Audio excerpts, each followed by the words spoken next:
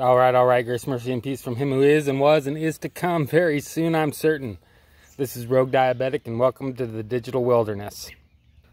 So today, um, as I predicted, these two are in full bloom. These have a, a hint of red in them, I guess. And we also have this one. So and that'll continue to be more and more of those uh, as time goes on. Oh, look, here's a new one. It's out into the bloom. Got some back there that are getting pretty close. So, um, yeah, the, uh, so that's uh, pretty much where it's been the past few years. And now we're I watered this today. As we can see, there's supposed to rain tomorrow. I thought it might even rain, start raining. Earlier today was gorgeous, but I thought it might even start to rain um, here this afternoon. It doesn't appear that it's going to though, or it might still. I don't know, but I think they're predicting rain for tomorrow. So we want to make sure that we get this, um, get the rest of the planning done before that happens.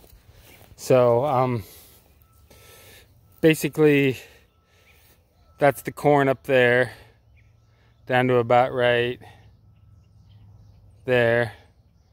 And then I put in some Swiss chard some lettuce and some green beans. I had some green bean seeds left over from a couple years ago. We got um, what do we got here? We got onions chives, peppers, both red and green peppers, and then we've got some some jalapeno type peppers of some sort in this last row, or something like that. Some sort of hot pepper down here. And we'll see how that turns out. I'm not like, we got our fingers crossed on those this will be an interesting thing. This is like, I've got quite a bit of different stuff from the last time I did a garden up here. And we'll see how it all turns out. And obviously, um, today is the 3rd of June, so that was always my dad's like goal to have his, at the, at the very latest, to have his beans planted by the 3rd, his soybeans, by the 3rd of June. He was a real farmer, not just a garden farmer. And um, so, uh, yeah, that was his goal. So I got my corn in on the 2nd of June, which is late. My beans in on the 3rd of June, which is getting late. And, uh, but we've got that. Hopefully, at least, I'll get some good spinach and lettuce. And hopefully these peppers and the chives and the onions turn out too. So, but we'll see what happens. I'll get this, I'll get these uh, furrows covered up. And then we'll go ahead and we'll water. All right, so mission accomplished.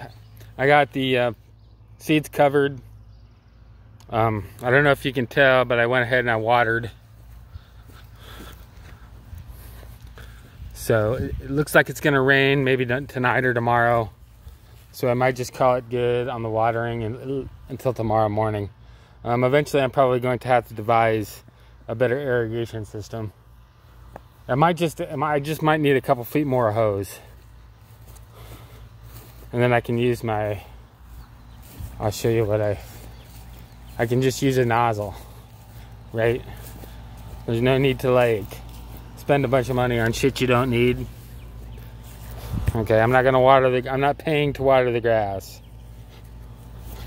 Okay, I'm not, I'm not paying to water the grass, but I will use city water for um, watering my garden, even though it has fluoride in it. But I'll, uh, but it might just be it might just be a matter of getting a couple more feet of hose.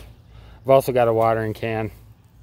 So anyway, if you like if you liked it, give it a thumbs up, share it, subscribe to my channel.